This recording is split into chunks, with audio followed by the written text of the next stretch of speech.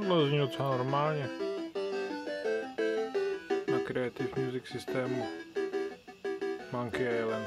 Problém je v tom, že tohle není Creative zvukovka.